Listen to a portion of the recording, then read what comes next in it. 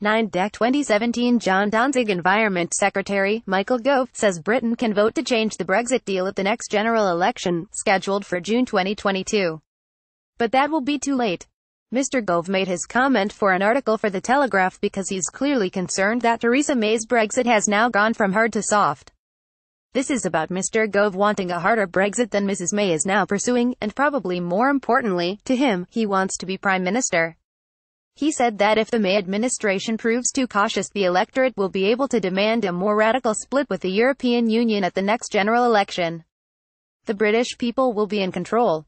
If the British people dislike the agreement that we have negotiated with the EU, the agreement will allow a future government to diverge, wrote Mr. Gove.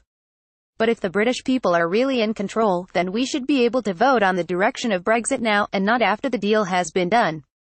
There is confusion and disarray within the cabinet this weekend as to exactly what Theresa May and her sidekick David Davis agreed with the EU's negotiators. The thorny issue of avoiding a hard border on the island of Ireland after Brexit was completely sidestepped, to be settled at a future date. And if it can't be settled, the fallback position according to a joint statement by the UK government and the EU Commission will be for the UK to maintain alignment with the rules of the single market and customs union. But this option was completely ruled out this morning by cabinet member Andrea Leadsom, leader of the House of Commons, who stated categorically that the UK will be leaving the EU and its single market and customs union.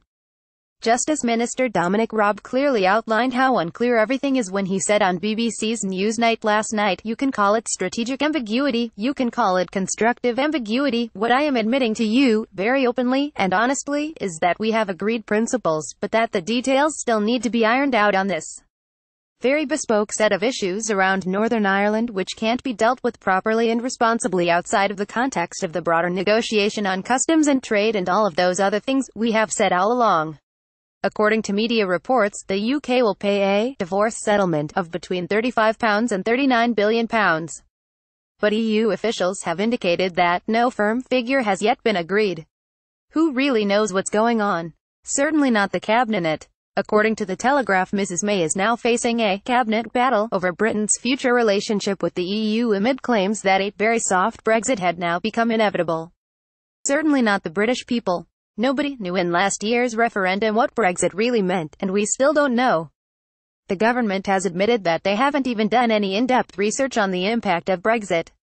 Everyone is in the dark, and it's into the darkness that the government is now taking us. Our political leaders are blindly going ahead with Brexit because they say that's what the people told them to do. But the people were only offered the option of a one-word answer to the extremely complicated question of whether the UK should leave the EU. Slightly more people chose leave as their one-word response rather than remain. It was not an informed response because the country was not informed. On the contrary, we were misinformed. When you have an operation, you have to sign a form that says you give informed consent for the operation to go ahead. Nobody gave informed consent for Brexit, and yet it is still going ahead. It's now time to properly inform the nation, and then for the nation to have an opportunity to properly inform our political masters of the true will of the people, based on the facts. Only those who are against democracy would disagree. Join and share the discussion about this article on Facebook. This entry was posted in Current Affairs, Democracy Citizenship, Economics Trade, Politics Public Policy, the EU and tagged Article 50, Brexit, European Union, Michael Gove, Telegraph. Bookmark the permalink.